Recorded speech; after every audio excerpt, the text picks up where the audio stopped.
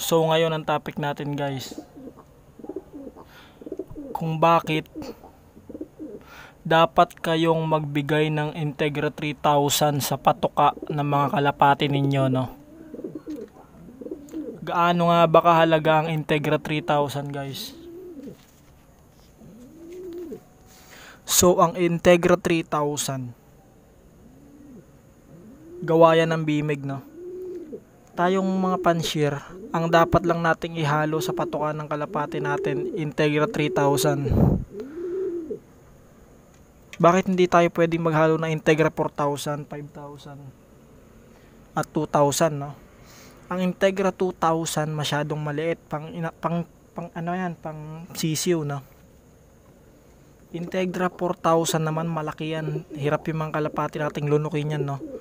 Kasize na tayo ng platinum pati yung 5,000 so ang para sa kalapati natin is Integra 3,000 so bakit ba maganda yung Integra 3,000 sa mga kalapate? Kaya po maganda yung Integra 3000 sa kalapate no? lalo na pag ihalo sa breeder mix. Basta ingay nyo naman ingay nyo. Nagbablog ako eh. Pagpapaluin ko yung ulo nyo eh. So kaya mahalaga yung Integra 3000 guys no. Pag inalo sa patuka sa isang dahilan, isang dahilan lang. Ang Integra 3000 po ay ginawa ng mga tao no. Pinag-aralan niya ng isang kumpanya, BMEG. Malak mataas po ang content ng Integra 3000, mataas ang vitamin C content nun no. Ano ba yung vitamin C? Ano epekto ng vitamin C sa kalapate? Ang vitamin C po, yan yung tumutulong sa immune system ng mga ibon, no, ng mga tao, ibon, para lumakas no? Hindi po agad ng sakit.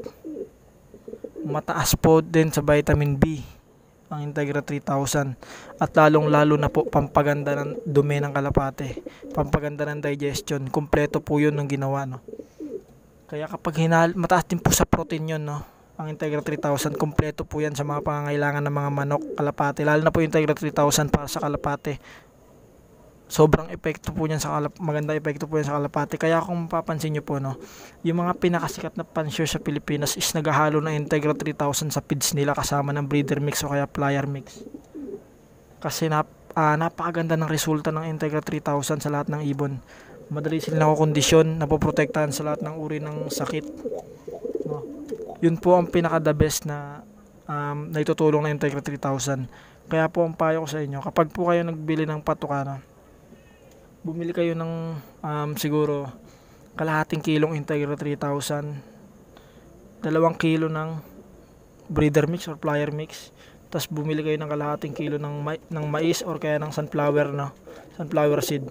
So yun po yung pinakamagandang tips na pwede kong ibigay sa inyo sa pagpili ng patuka. Tapos ngayon timplahan nyo po timplahan nyo kapag nakabili na kayo na ilagay nyo sa garapo nyo timplahan nyo kada patuka. Haluan nyo ng honey pambinder honey pambinder niya no? Yung pang papadikit na mga powder.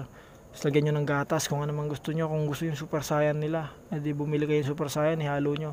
Basta po merong Integra 3000 magandang magandang kakalabasan.